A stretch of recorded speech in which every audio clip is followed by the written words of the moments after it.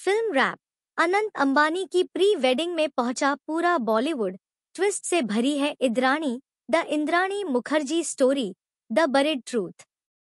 Film wrap में देखें, आज के दिन क्या खास हुआ। एक से तीन मार्च तक चलने वाले इस बिग बैश की शुरुआत हो चुकी है। लगभग सभी सितारे यहाँ पहुँच चुके हैं, कई अब भी पहुँच रहे हैं।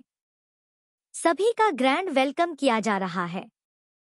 नेटफ्लिक्स की नई documentary series the Indrani Mukherjee story the buried truth stream हो चुकी है।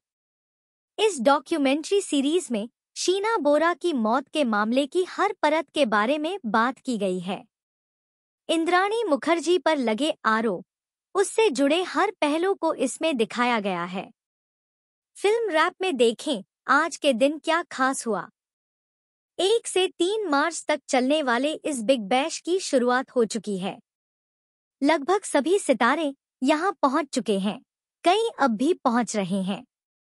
सभी का ग्रैंड वेलकम किया जा रहा है। नेटफ्लिक्स की नई documentary series the Indrani Mukherjee story the buried truth stream हो चुकी है। इस डॉक्यूमेंट्री सीरीज़ में शीना बोरा की मौत के मामले की हर परत के बारे में बात की गई है। इंद्राणी मुखर्जी पर लगे आरोप, उससे जुड़े हर पहलू को इसमें दिखाया गया है। Anant Ambani Radhika Merchant pre wedding celebration हर ओर अनंत अंबानी और राधिका मर्चेंट के प्री वेडिंग सेलिब्रेशन की चर्चा है। तीन दिन तक चलने वाले इस बिग बैश में सिर्फ़ भारतीय ही नहीं, विदेश की भी बड़ी से बड़ी हस्तियाँ इनवाइटेड हैं। गुजरात के जामनगर में होने वाले सेलिब्रेशन के लिए अंबानी परिवार ने खास तैयारियाँ की हैं। आज, एक मार्च, इस सेलिब्रेशन का पहला दिन है।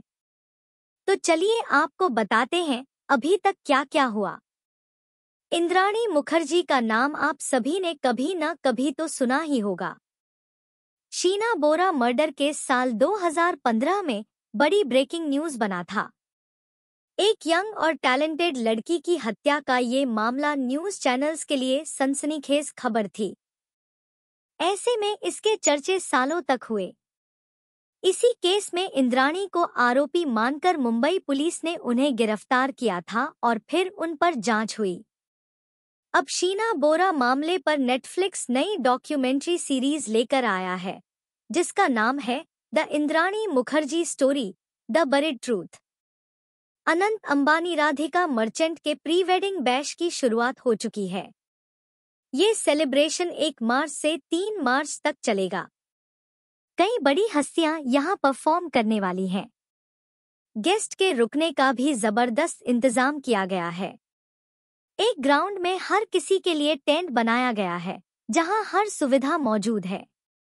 बैडमिंटन प्लेयर साइना नेहवाल ने इसकी झलक दिखाई। खिलाड़ी भी गुजरात के जामनगर सेलिब्रेशन का हिस्सा बनने पहुँची है।